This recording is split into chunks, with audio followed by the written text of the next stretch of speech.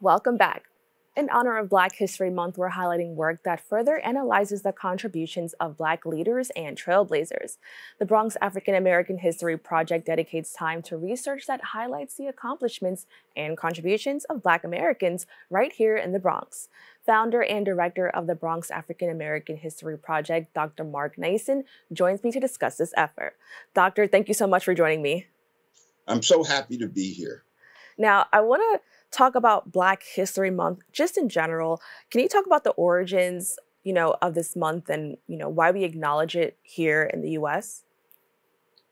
Well, I think this started with the historian Carter Woodson uh, in uh, even before the Great Depression, who felt that um, our universities um, and our schools were not uh, including the contributions of African Americans in uh, what they were presenting, and that uh, organizations had to do this independently. Uh, so um, this began outside of schools and eventually entered schools. And after the civil rights movement, it became policy of many public schools around the country. But none of this came without a fight. And this is particularly important now that in, in many parts of the country, uh, African American history is being pushed out of schools. We have to remember we had a fight to get it in. And, and Dr. Woodson was probably more responsible for this than anyone. I'm so glad that you brought that up because even now it's you know it's still very controversial and you know i want to know um, in your opinion why do you think we're seeing this reaction um, and just the strong pushback towards you know black history month being taught in schools? Because i think it's because we found out so much about things that happened in the past that were kept from view that um, present the country in a very different light than most people have viewed it. For example, uh, take uh, the destruction of Black Wall Street in Tulsa in 1921. Um, this was the wealthiest Black community in the country that was burned to the ground, um, a 36 uh, square block area destroyed, um, scores of businesses uh, burned, and uh, hundreds of people killed, thousands pushed into exile. No one knew about this. Um, and if we're talking about, you know, obstacles to Black wealth creation in the United States, we have many episodes of mass murder of prosperous black communities. Another one of these took place in the state of Florida in Rosewood in the 1920s. So a lot of we have a, a lot of young historians who are uncovering this, and I think it's very threatening information, especially because it encourages a serious discourse about reparations. Um, and um, I, I think once the true picture of, and, and we're not just talking about enslavement, we're talking about things that were happening in the 20th century when Black people, you know, were making progress economically, and that was perceived as a deadly threat um, and an, an, an, incitement to violence. We, we, that's that's a pretty disturbing subject, isn't it? Right. And I think people are afraid of having that discussed. Well, I'm I'm actually really glad that you're here and that we're having this discussion uh, because a huge part of your work is you know analyzing African American history here in New York, but specifically the Bronx. Um, I think that's so important because most of the time when we do hear about these stories, they're usually um, from different parts throughout the country. So first, can you just talk about your organization or your, you know, the Black African American History Project okay. before we jump into that? Yeah, sure. This basically started 20 years ago when I was approached by the uh, the archivist of the Bronx County Historical Society, who said there was a tremendous community demand for information about African American history in the Bronx, and there wasn't any. So could my colleagues and I try to create, you know, a database to meet the community demand? I looked into it and found this. There were half million people of African descent in the Bronx, and they were invisible to scholars, to the media, even to the major center for African American research in New York, the Schomburg Center, who published a book called The Black New Yorkers 423 pages, three pages in the Bronx. So I said, okay, how do, when you have this large group of people who are invisible to the researchers, what do you do? You do oral histories. So I contacted a former student of mine named Vicki Archibald, who lived in the Patterson houses in the 50s. Her brother was the great basketball player, Nate Tiny Archibald. And I asked her, would you um, do an interview me describing what it was like growing up in public housing in the Bronx in the 1950s and, and 60s and how that contributed to where you are today, which was as a social work supervisor um, in Long Island?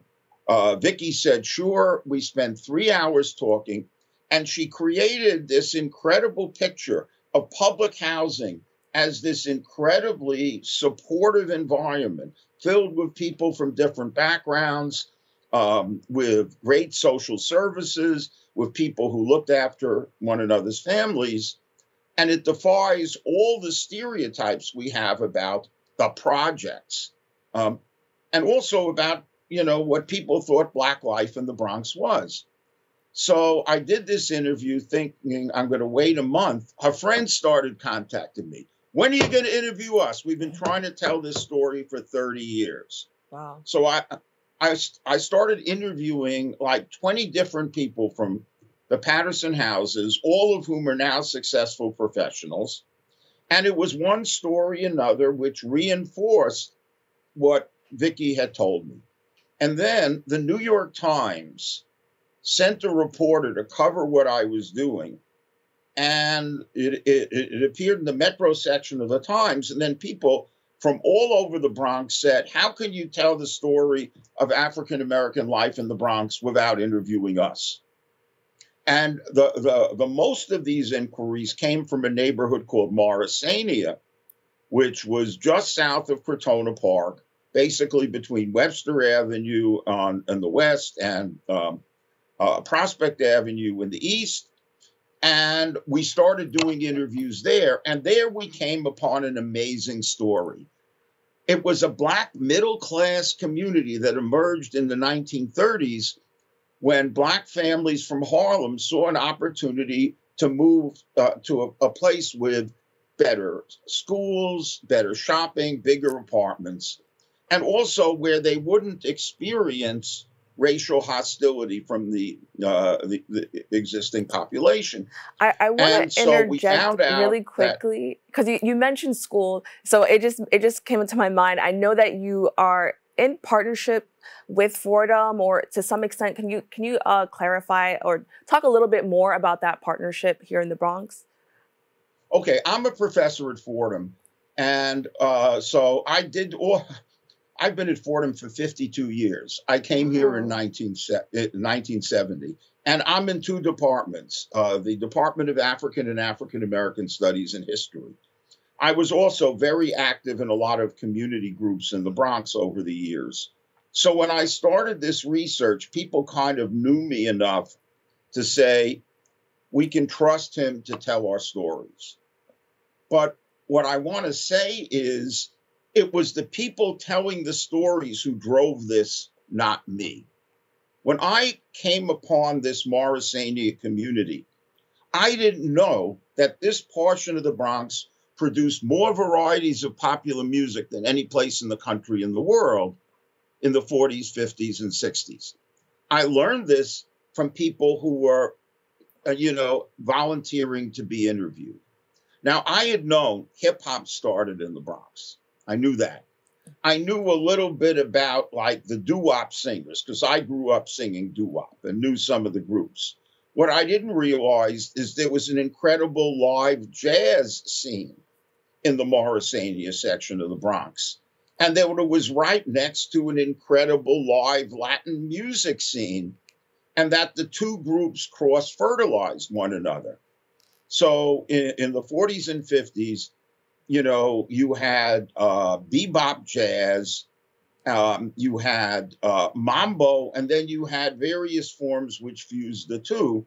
And you also had doo wop, you know, the, the urban harmonic singing in this neighborhood uh, where you had two pioneering groups. The Chords, 1954, produced the first urban harmonic record to sell a million records, Sh-Boom, and the Chantels, the first urban harmonic group by women to sell a million records, all in one neighborhood. And the schools played a role in this because they had great music programs. So That's no amazing. one knew this before the people in the community were telling us this. And then something we we started publicizing it. Then the schools got involved because I, I want to interject quickly because we have about a, a minute left. We only have a minute oh. left, but I, I definitely want to get into this. It's just so much rich history that I didn't even know existed in the Bronx. So I'm so happy that you shared some of that. Can you just like talk about, uh, you know, just the importance of having this available to so many people who okay. currently live we here? We now have We've been doing this for 20 years. We have a digital archive that anyone can access.